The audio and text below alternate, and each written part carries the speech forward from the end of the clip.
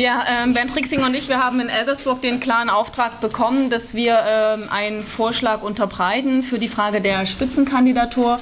Und wir haben gemeinsam mit Gregor Gysi einen Vorschlag erarbeitet. Ähm, den haben wir heute im Parteivorstand vorgestellt. Dazu gab es eine sehr gründliche, auch nachdenkliche ähm, Debatte.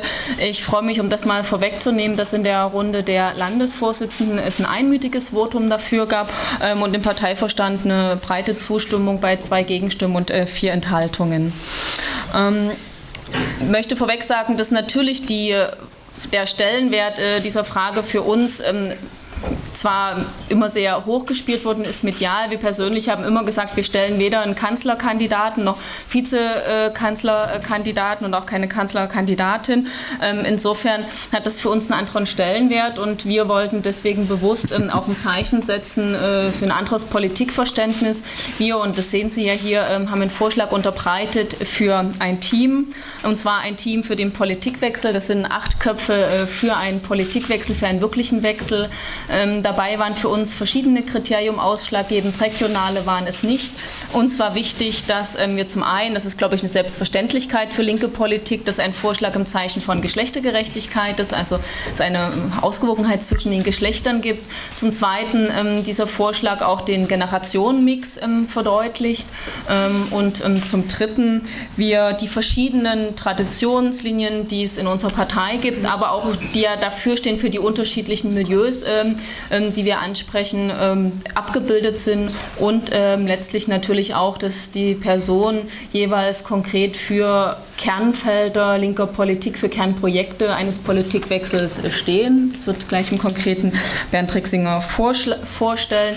Also das sind unsere acht Köpfe für einen wirklichen Politikwechsel. Wir werden danach noch für ein Foto das entsprechend aufstellen die Mikrofone dann wegstellen.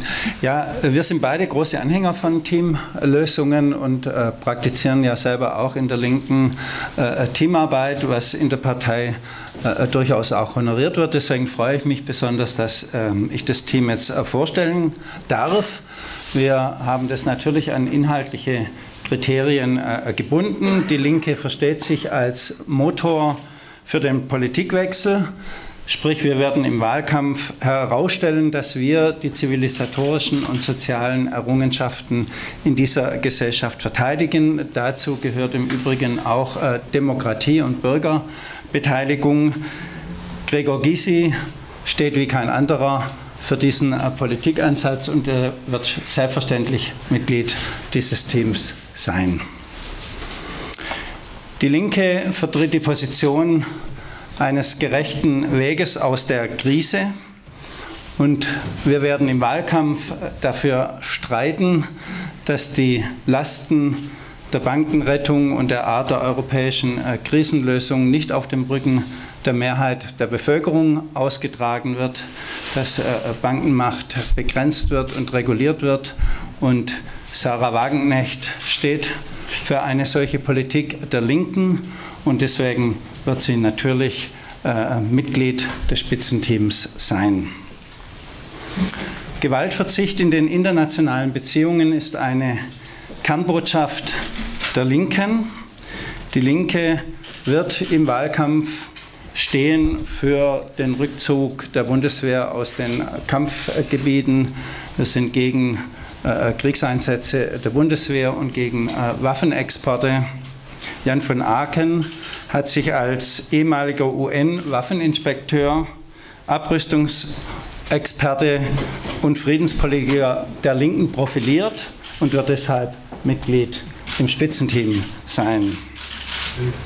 Wir stehen dafür, dass die Benachteiligung im Osten abgebaut wird. Noch immer gibt es starke Differenzen bei den Löhnen, bei den Renten, ein ungeheurer Skandal und auch die wirtschaftliche Entwicklung in den äh, neuen Bundesländern bleibt hinter der der alten Bundesländer zurück. Wir haben uns vorgenommen, diese Interessen speziell auch im Wahlkampf aufzugreifen. Dietmar Bartsch wird diese Rolle in der, äh, im Spitzenteam übernehmen und wir freuen uns, dass er dabei ist. Gute Arbeit und soziale Gerechtigkeit ist geradezu ein Kernslogan linker Politik. Die Linke wird im Wahlkampf für Löhne werben, von denen man leben kann, eine Rentenoffensive starten und uns für menschenwürdige und gute Arbeitsbedingungen stark machen. Klaus Ernst als profilierter Gewerkschafter wird in dieser Rolle im Spitzenteam seinen Platz haben. Wo ist er? Ja. Bildung ohne Grenzen und Gebühren. Der Kampf für einen gebührenfreien Zugang zur Schule und Hochschule oder man kann sagen von der Kindertagesstätte bis zur Hochschule ist ein Kernelement linker Politik.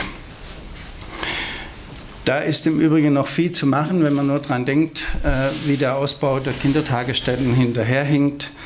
Nicole Gohlke wird als ebenso junge wie engagierte Hochschulpolitikerin im Spitzenteam dieses Politikfeld vertreten.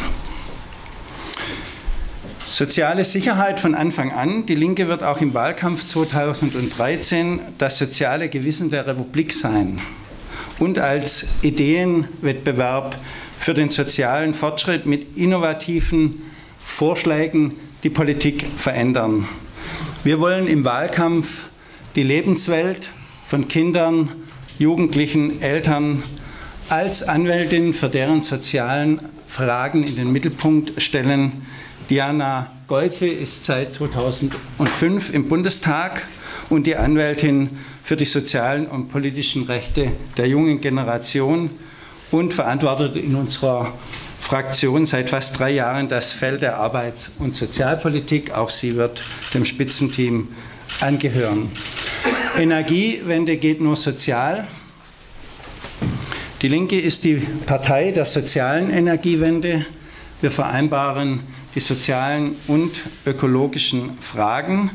Und wir streiten dafür, dass die Kosten des Energieumbaus nicht auf die Verbraucher und Verbraucherinnen abgewälzt werden und insbesondere, dass äh, Durchschnittsverdiener und Menschen im Niedriglohnbereich auch die Energiekosten bezahlen können. Wir wissen auch, dass die Mieten inzwischen die Löhne auffressen und das Thema Mieten und steigende Mieten eine immer größere Rolle spielt. Und es wird auch im Bundestagswahlkampf eine prominente Rolle bei uns spielen.